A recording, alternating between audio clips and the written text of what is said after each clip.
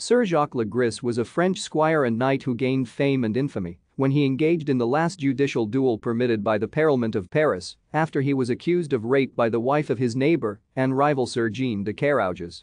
Carrouges brought legal proceedings against Le Gris before King Charles VI who, after hearing the evidence, authorized a trial by combat to determine the question. The duel attracted thousands of spectators and has been discussed by many notable French writers, from the contemporary Jean Froissart to Voltaire.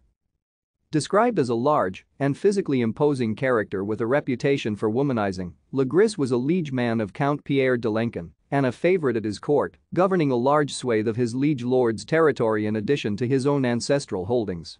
Le Gris's insistence on defending his case by chivalric trial by combat rather than opting for the safer church trial attracted widespread support for his cause amongst the French nobility, and controversy continues to this day as to where the real guilt lies in the case.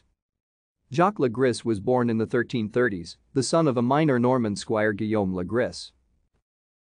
Thank you for watching. Like and subscribe if you would like to view more of our videos. Have a nice day.